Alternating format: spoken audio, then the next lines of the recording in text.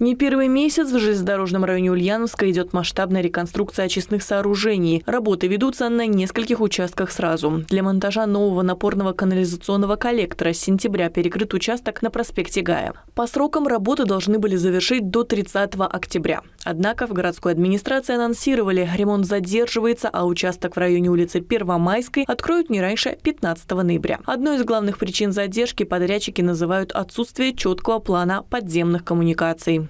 То есть если в горизонтальной плоскости мы хотя бы примерно ориентируемся, где проходят основные коммуникации, тепловые, электрические, то в вертикальной, то есть на какой глубине они заложены, э, информации по минимуму. Поэтому что-то планировать до того, как э, упрешься в, очередные лотки теплотрассы, либо в газовую трубу, очень тяжело. Отметки на столбах потеряли актуальность, а чтобы продвигаться дальше, приходится приглашать специалистов для новых замеров. Плюс подрядчики отмечают, что на улице Первомайской также обнаружили неучтенные подземные коммуникации, в том числе газовую трубу. Любой элемент, кроме прямой трубы, невозможно изготовить на месте. То есть это заводская, заводская работа. То есть э, этот элемент должен быть быть угловой сертифицирован, должны быть проверены швы, обеспечена их э, непроницаемость и устойчивость.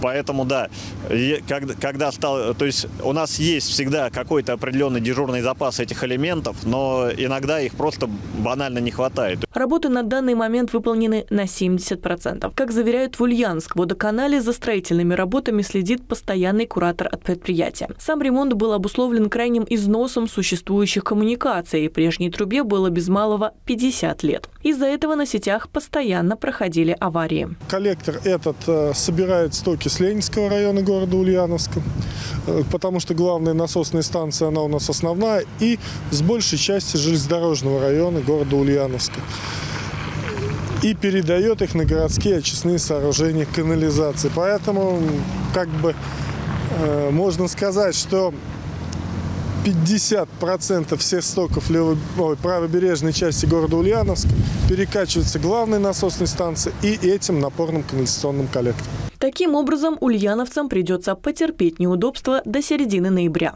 До тех пор участок дороги на проспекте Гая между улицами Первомайская и Хрустальная будет перекрыт. Анна Тищенко, Улправда, ТВ.